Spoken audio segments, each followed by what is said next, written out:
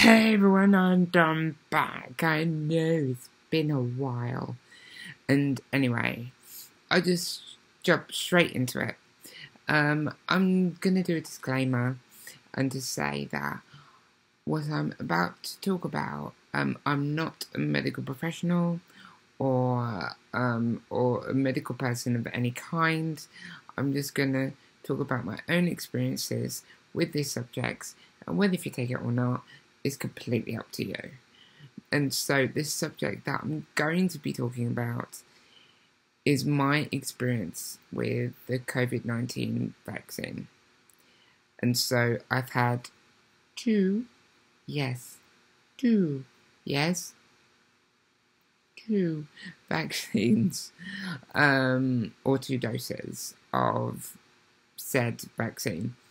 And so I'll tell you about my story of what happened, and yeah, just to kind of relate and and to see and to help with anything that that you may want to question or ask or whatever.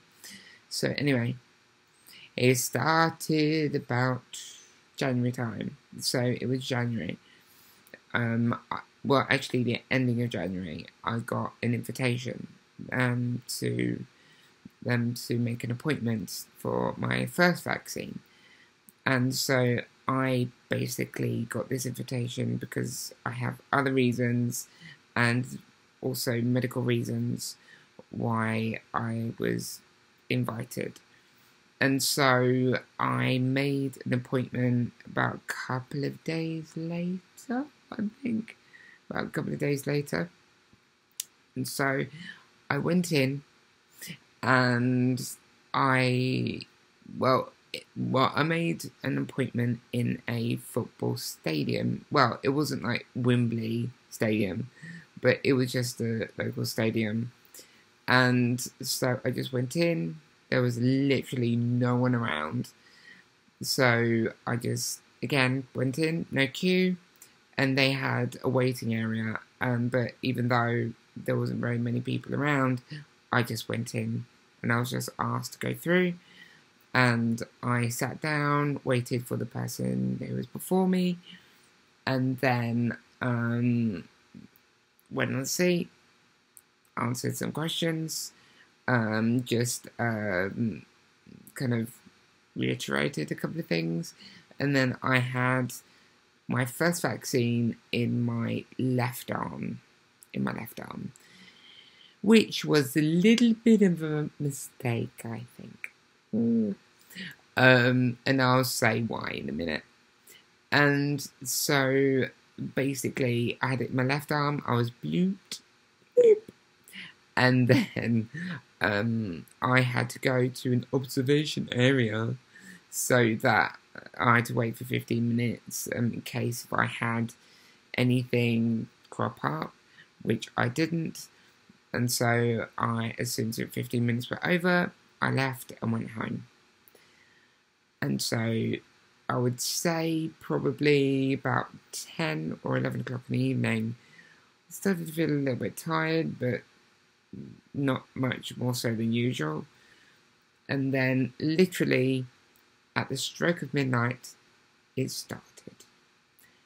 I got the minor symptoms and so it was literally midnight, as I said. And then, um, uh, and then I started to like get the chills really badly. And I was like shaking like this. And then I thought, look, it's some minor symptoms. Probably go to bed, and you'll be wake up in the morning, and you'll be fine. Cut to three hours and fifteen minutes later, so about 3.15 in the morning, I had the, I felt like I was in the sauna. And so um, I was hot, really comfortable, um, because I had um, a dressing gown on. And then I just took some paracetamol um, or painkillers um, because I had um, something wrapped around me and then um, I had to take some paracetamol or painkillers, um, and then I just went back to bed. and then about another three hours and 20 minutes later, um, I woke up in a panic attack. Essentially, yeah. And then I just felt like I was really out of control. Didn't know what to do. I felt actually quite hot and I was using my asthma uh, pump, and so I had no sign of calming down, and so I decided to phone 999.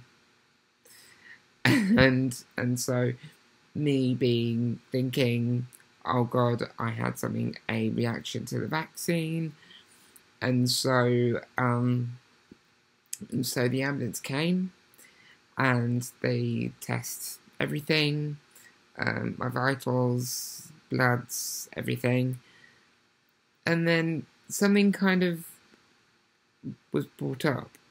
And so the ambulance person said, um, Matthew, uh, Mr. Rose, um, I have to say, we've noticed something in your blood glucose and it's a little bit high, so we're going to take you to the hospital if you don't mind. And I'm like, okay.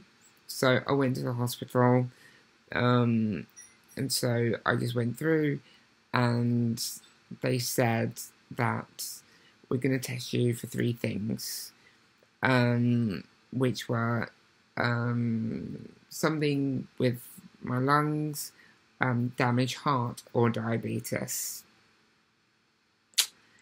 Yeah, so I was quite scared.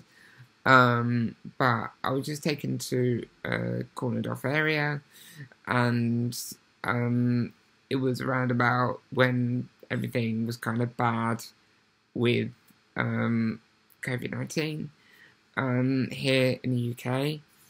Um, so I knew um, I knew that I was safe and, and things like that.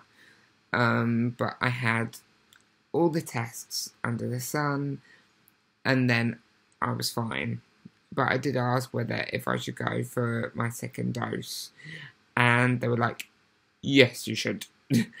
and so, um, so I was kind of thinking that was fine, and then just to give you a little sneak peek into this would be a good idea. Um, basically, I had another feeling the next week after that I thought maybe I should be tested. I was tested again, and I was tested for type 2 diabetes, and it ended up being positive. So I didn't see that coming. So I will explain more in in that vlog. So anyway, um, coming back to my COVID nineteen vaccine story. So, so um, as soon as I came home, took about a day and a half to about two days to get over it. Um, and then probably about not so long ago in April, I think about middle of April, um, I think about nearly a month ago now, um, I went to the same place, uh, you know, same thing, and I did ask about blood clots. And the thing is, they said, well, the doctor said, if you had a blood clot, you would have known in the first, at the first vaccine. So, like, okay, I was fine. And then um, I ended up getting it in my right arm. And the reason why I think it's a bad idea to have it in the left arm. I actually sleep on this arm. And so the other symptom is you get a very, very sore arm. So if you either sleep on your right or your left arm, do it on your opposite side, on your opposite side. So it doesn't matter where where the injection goes in, it, as long as you don't sleep on it, because otherwise you may or may not get much sleep, um, which is uh, not great, which happened to me. Um, but um, I had it in my right arm, And so, again, just kind of same thing, waited 15 minutes in the observation area, and then just went home. And then I was kind of waiting for, um, but the good idea is you can take paracetamol or painkillers before the minor symptoms start. So if if you do get any minor symptoms, it will kind of dull them so that you, you if you do get them, it hopefully won't be as bad. But when it came to midnight, I was like, chills and temperature, chills, temperature, chills, temperature. Didn't happen. It didn't happen. So you might get the same symptoms that you had last time, or you may not. But this time, I've got completely different ones. And so, if you're squeamish, don't listen in this video. Um, so, and and I will give the signal to to when to not listen. Um, and sorry, when when you can listen. So anyway, the second uh, minor symptoms that I experienced was nausea. Yeah. And so, ironically, that's what my mum had as well. So, when she got her first one, and so I just felt like very intermittent nausea pain, and it was kind of very in and out, in and out, and I didn't really notice it. Um, but after I think a day, that's when it was bad. It was very, very uncomfortable. But after that, it kind of slowly dissipated and kind of gradually went away without me knowing. And so, if that was my minor symptoms, like that was fine. Like, like I've had worse. And so, after that, I was fine. It's fine. I haven't really experienced any other symptoms, but even though I was pretty much pro vaccine, um, uh, you know, I do believe like everybody has their own kind of view and they're all entitled to it, but also it's just having the vaccine and I took it basically. I have obviously family um, who are vulnerable, like everybody else. I'm also unfortunately vulnerable. Um, and so that was my biggest reason why that I I wanted to get this vaccine. Um, and I did read up on like the signs and the symptoms and the negative stuff and the social media stuff. But the anti vaxxer thing didn't really um, bother me at all because um, I'm, well, it's just, I, I just thought, look, I'm going to get this vaccine regardless. And so that's why that I wanted to go for it. And so the vaccine that I had, as I probably have given it away, was AstraZeneca. And so my experience, even though at the moment um, people who are under 40 um, are going to be given a different vaccine. And so I'm within that age bracket.